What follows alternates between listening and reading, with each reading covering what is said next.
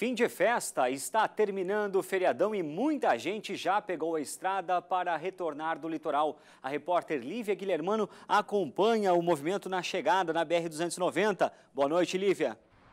Boa noite, Olegário.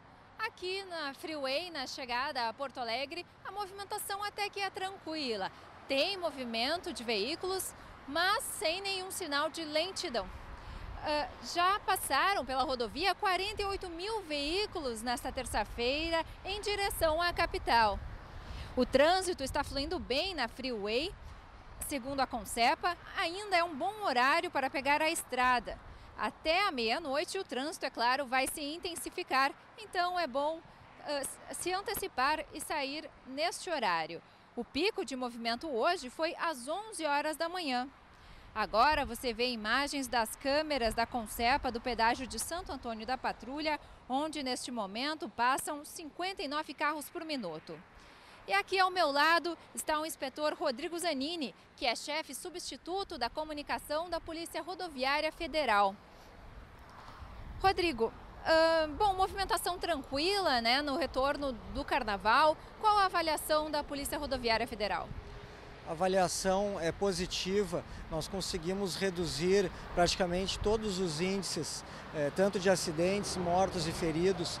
E agora, como a gente pode observar, o trânsito flui bem, flui normal e o pessoal pode pegar a estrada e vir tranquilamente, porque não temos pontos de retidão e o trânsito está fluindo. Bom, muita gente então resolveu antecipar o retorno, né? Foi isso que a gente observou, vendo que às 11 horas da manhã foi o horário de maior movimento. Exatamente, o pessoal já começou a retornar ontem à noite ainda e hoje iniciou uh, o retorno mais cedo. Por volta das 10 horas da manhã, o trânsito já fluía intensamente na Freeway. Bom, em relação às multas este ano, nós tivemos aí um aumento de multas. Então, qual o motivo e quais são os números né, dessas infrações? Principalmente excesso de velocidade.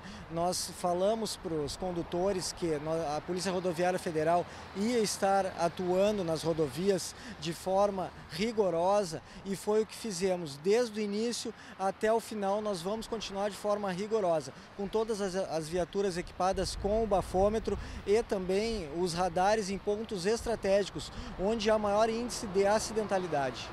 Bom, o número de multas aumentou, mas o número de acidentes diminuiu. Então, qual a avaliação que a gente pode fazer em relação ao comportamento dos motoristas neste carnaval?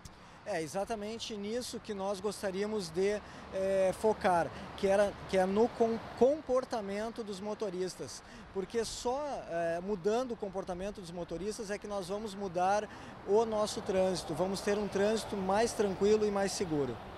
Quais são as orientações, então, para quem ainda vai pegar a estrada?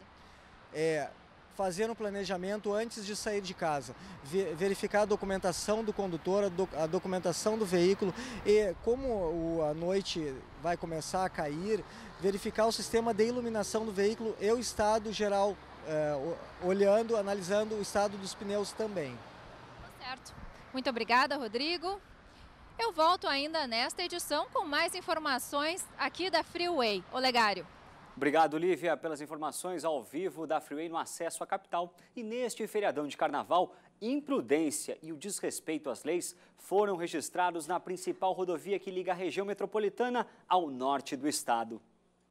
Na BR-386 em Triunfo, um veículo foi flagrado pela Polícia Rodoviária Federal na tarde de ontem, transitando com o dobro da velocidade permitida no trecho 160 km por hora. Em outra ocorrência à noite, um terneiro foi encontrado no porta-malas de um chevette parado na mesma rodovia.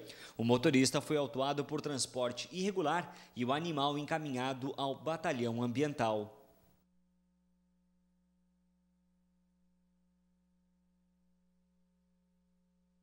De muitas nuvens no céu. Apesar disso, a chance de chuva é bastante pequena e o sol pode aparecer em alguns momentos do dia. A temperatura não deve baixar dos 20 graus. Em Porto Alegre, máxima será de 30 graus.